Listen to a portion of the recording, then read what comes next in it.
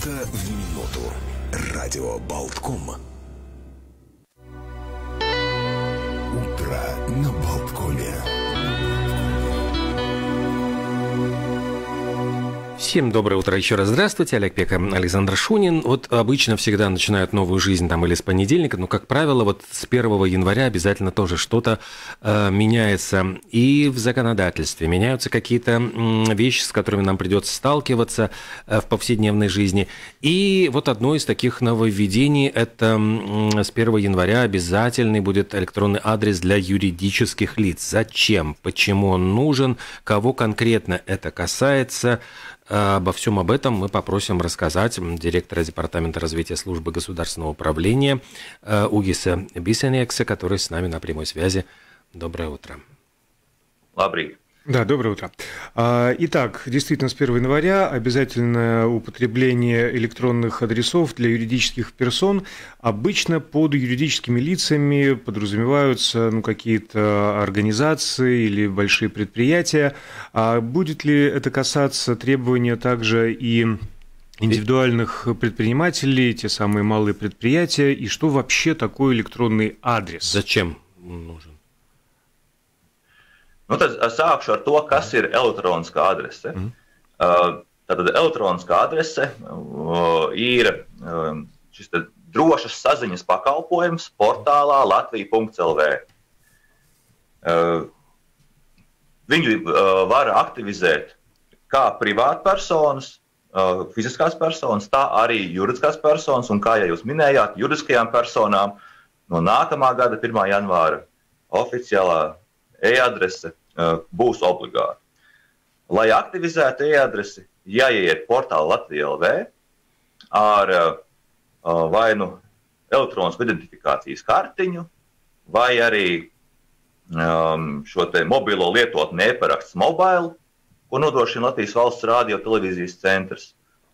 Jauno autorizējas un jāizveido e-adrese. Tad, lai izveidotu e-adresi Latvijā LV portālā, tur būs tādi oranži taisni stūrīši, kā podziņas, ja, uz viņiem, kas saucās izveidot e-adresi. Ja, un uz viņiem nospiežot, tad jūs tiksiet aizvests uz, uz to e-adreses aktivizācijas formu. Tad kāpēc e-adrese ir vajadzīga? Um, e-adrese ir īpaši veidots drošas saziņas kanāls, drošas saziņas pakalpojums, kurš garantē, ka saziņas abās pusēs, gan sūtītāja, gan saņēmēja pusē, lietotājs ir droši identificēts, ir droši zināms, kas viņš ir, un ka tieši viņš šo informāciju arī saņems. Tas nozīmē, ka valsts institūcija saņemot no sūtītāja informāciju, ir droši, ka sūtītājs ir tas, kas sūta, ka šī saziņa ir nu, aizsargāta, pa vidu nav iejaucies neviena trešā cita persona ja, šajā saziņā. Līdzīgi arī tad, kad valsts iestāde e-adresē sūtīs informāciju, uh, saņēmējs var būt pārliecināts, ka tiešām sūtītājs ir tas, uh, par ko viņš uzdodas.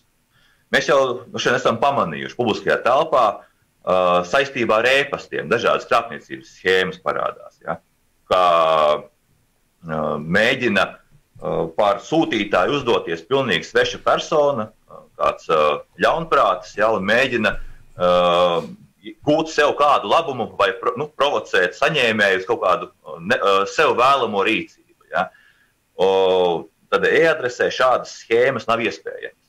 E-adresē sūtītājs un saņēmējs ir droši identificēti. Un tieši tāpēc, ņemot vērā, ka saziņā ar valsts pārvaldi informācija ir parasti sensitīva, tur parasti ir kā minimums sūtītāja personas dati vārds, uzvārds, personas kods, varbūt pasas dati un, un cita sensitīva informācija.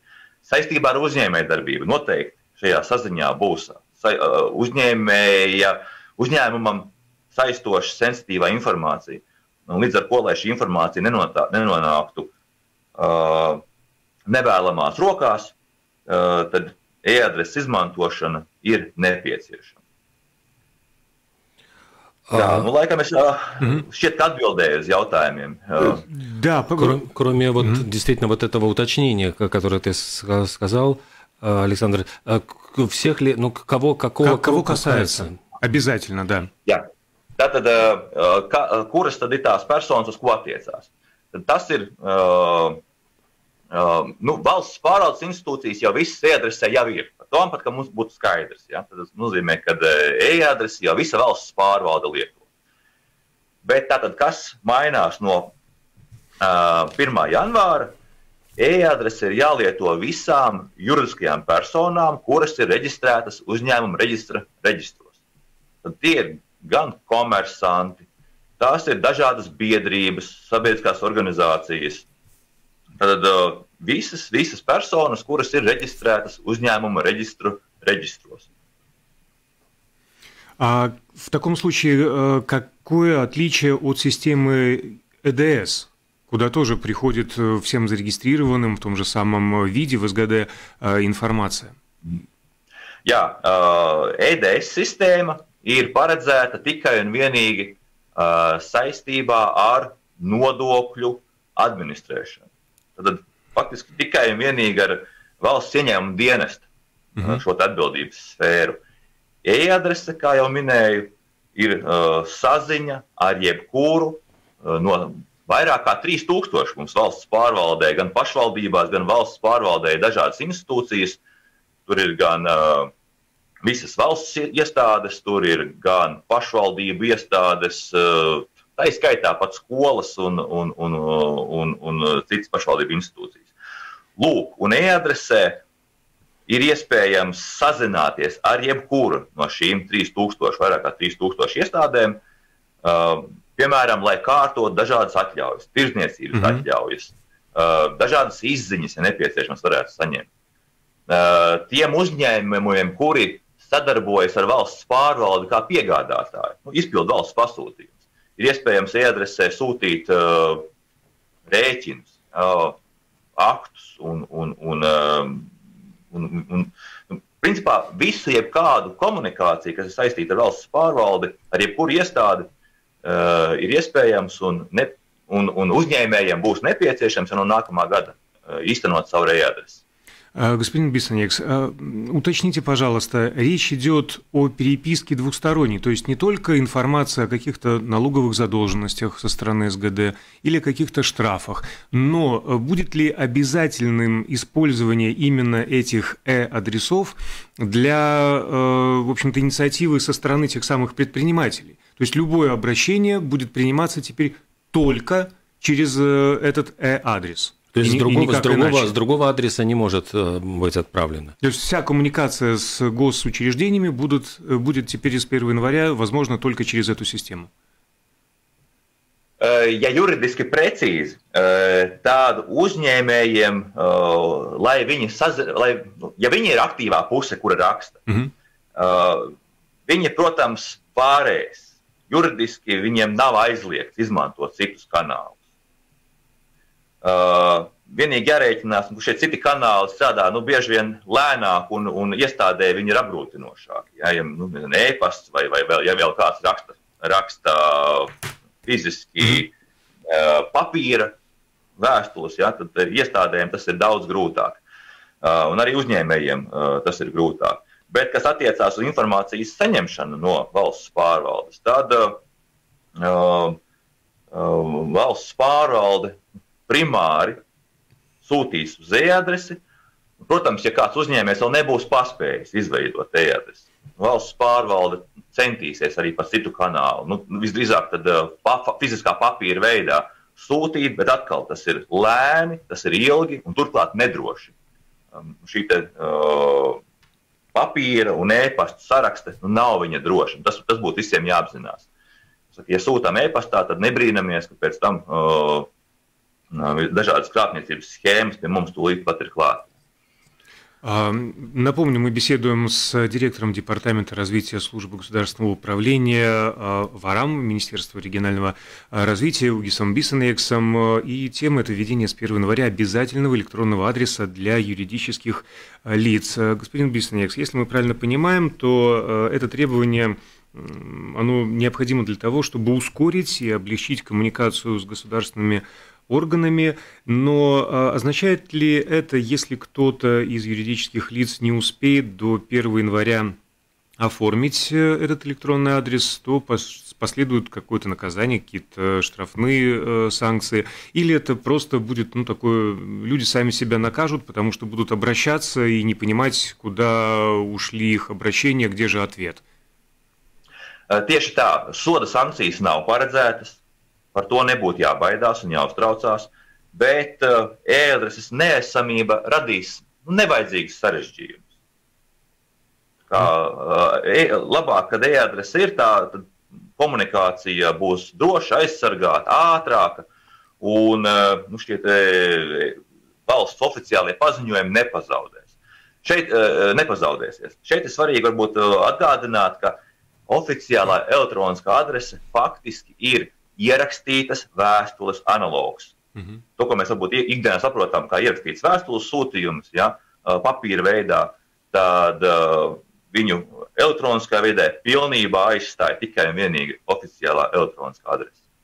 Можно ли, э, например, физической персоне э, зарегистрировать тоже, ну вот задекларировать такой свой официальный адрес электронный, потому что мы понимаем, что, ну, если у человека есть задекларированное место жительства, ему физически приходит по этому адресу письмо, а может быть ему удобнее, ну, быстрее получить письмо электронной почтой? Jā, arī fiziskās personas var veidot, un arī mēs aicinām, ļoti aicinām veidot šīs oficiālas elektroniskās. Jo tik tiešām tas arī fiziskajām personām ļauj valsts pārvaldes šo komunikāciju saņemt ātrāk un nu, jebkur, kur ir internets. Mm -hmm. Jo droši vien, ka mēs at, nu, atminamies, ka bieži vien šī fiziskā saziņas saņemšana nu, ir apgrūtināta. Mēs nevienmēr dzīvojam tieši tur, tajā brīdī, uh, kur, kur mums ir deklarētā dzīves vieta, tad kāds paziņojums varbūt atklāt novēloti. Uh, ну да, плюс э, физический ящик почтовый, да, физический почтовый ящик мы перестали проверять каждый день в ожидании какого-то письма или открытки. Но э, скажите, пожалуйста, предусмотрен ли какой-то условный переходный период, по окончании которого физические письма, уведомления и уведомления на электронную почту именно с приложенными файлами, вот с этой сенситивной информацией, перестанут приходить? Pagaidām vēl nē. Šobrīd tas tikai tiek plānots, un tas plāns, provizoriskais plāns, uh, ir uz 26. un 27. gadu arī fiziskajām personām uh, tiktu plānota jau obligāta e-adreses izmantošana. Pagaidām līdz tam laikam pilnīgi noteikti tā ir fiziskajām personām brīvprātīgi. Господин Песенникс, вот у меня тоже вопрос. Если мы говорим о том, что физическое лицо может задекларировать э, свой электронный адрес на значит, Латвия ЛВ, а есть ли какие-то, мы все знаем, что, например, Mail.ru заблокирован сейчас, вот есть ли какие-то рекомендации, на каких, ну, э, это Gmail или использовать лучше э, наши латвийские вот сервисы с почтовые, вот есть ли какие-то здесь рекомендации? Nē, nekādas īpašas rekomendācijas nav. Nu, tā, tā, tie, tie e-pasta, e-pasta kanāli, kādi, nu, kādus jūs ikdienā izmantojat, jā, tos, tos arī noteikti uh, pieregistrējiet, lai no e-adreses tālāk saņemtu paziņojumus vai, vai, vai notifikācijas par jauniem ziņojumiem. Mm. To arī norādīsiet e-adreses reģistrējot. Um, jā. Ну, это, кстати, кстати был мой следующий вопрос. Как э, мы узнаем, вот э, физическое или юридическое лицо, тем более, что пришло новое сообщение, то есть придет какое-то электронное письмо о том, что новое уведомление в этой системе э, электронного адреса? Jā, tad, tad, kad jūs veidosiet vai reģistrēsiet šo oficiālo elektronisko adresi, tad jums sistēma cita starpā pajautās arī, uz kuru e-pastu pārsūtīt paziņojumus vai notifikācijas par jauniem ziņojumiem. Un tad uz šo e-pastu tiks pārsūtīts tiešām tikai pats paziņojums, pats nu, informācija par to, ka ir ziņas. Pats e-pasta vai, vai e-adreses saturs, nu, pats, pats ziņojums, tas gan pārsūtīts netiks, tas mm. atkal ir saistīts ar šiem drošības apsvērumiem, vai ne? Uh, lai, lai e-pastu tīklā nenonāktu šī sensitīvā informācija. Tā kā mm. Uh, brīdī, kad jūs saņemsiet e-pastā no portālu Latvijas LV paziņojumu, ka jums e-adresē ir jauns ziņojums, tad jums būs jādodas uz, uz šo portālu Latvijas LV un tur jāielūkojas un šis paziņojums jāizlasa. Насколько электронная почта считается безопасной, насколько вот, ну, есть риски, что будет она взломана, и вот, скажем, какая-то личная информация может попасть в руки хакеров? Nu, kas attiecas uz parasto e-pastu, tur nu, drošības eksperti visi kā viens uh, uh, saka, ka nu, svarīgu informāciju tur pārsūtīt nevajadzētu. Uh, protams, nu, lai, lai, lai parasto e-pastu laustu, ja, nu, arī jebkura aizliegta darbība arī prasa kaut kādu ieguldījumu, tad droši vien nu, tas uzbrucējs vienmēr vērtēs kāds ir iegūms no tā, ka viņš uh, šo uzbrukumu veids. Uh, nu, katrā ziņā uh, e-pasts, ja viņš nav šifrēts papildus, protams, ja, ir, nu, tiek atzīts kā relatīvi viegls mērķis, jo, jo saziņa, e-pasta sūtījumu saziņa nekā netiek tīklos aizsargāta. Tas būtībā ir atklāts teksts, ja viņš nav sašifrēts, protams. Ja. Nu, savukārt oficiālā e-adreses sistēma uh, tā ir sistēma, kurai tiek veikta regulāra drošības audita, nu, tad attiecīgi drošības eksperti nu, tad, tad regulāri pārbauda, vai šis kanāls joprojām ir drošs, vai nav atklāts kādas ievainojumības, un tādējādi rūpējās par šīs saziņas konfidencialitāti. И такой, может быть, очень, ну, не знаю, наивный вопрос, вот, господин Бисенекс, а мы, очень многие люди ведут сейчас переписку в мессенджерах, в социальных сетях, это Facebook, где-то там Twitter используют. Вот насколько официальные учреждения используют вот эту коммуникацию, считается ли она ну, приемлемый для официального обращения в государственный орган, потому что мы знаем, что многие э, ну, бизнесмены, да, а, ну, бизнесмены, Нет, бизнесмены даже... например, то, тоже ведь открывают в Фейсбуке свои странички, то есть там, там можно вести спокойно, там заказывать, не знаю, еду, там э, делать бизнес, совершать покупки и так далее. Вот государственные учреждения, насколько они готовы к такому э, э, сервису? Nu, iestādes, kuras uh, veids tādu labu pārvaldību, ja, tās cenšas sekot līdzi uh, šiem te, nu, Twitter ierakstiem, mm. Facebook ierakstiem, uh, bet vairāk, lai uzzinātu viedokli par, par savu pakalpojumu kvalitāti. Protams, nekādu personificētu pakalpojumu pieteikumu uh, šajos tīklos izdarīt nevarēs. Jo tur nu, pietrūkst tā, tā personificētā, nu, pietrūkst informācija vai drošība par to, ka tas, kurš to, to pakalpojumu tur ir kā pieteikt, ka tas, tas ir tas, par ko viņš uzdodas. Nu, šī identitātes drošība tur nav iespējama. Bet viedokļa iegūšanai, atsauksmju iegūšanai, iestādes īpaši tādas, kas vairāk uh, veic tādu labu pakalpojumu pārvaldību, viņas šos izmanto. Хорошо, спасибо огромное за эту исчерпывающую информацию. Еще раз напомним, Угис Биснекс, директор Департамента развития службы государственного управления Министерства ВАРАМ, был с нами на прямой связи. Мы говорили об обязательном введении с 1 января электронного адреса для юридических лиц и желательно для физических тоже. Все это делается с целью ускорить и облегчить коммуникацию с государственными органами и защитить ее, эту самую коммуникацию, ее содержание. Господин Бисоникс, еще раз большое, большое спасибо, спасибо, хорошего дня и с наступающими Привет. праздниками. Привет. Хорошего Нового года. Спасибо. Всего доброго. Радио Болткома.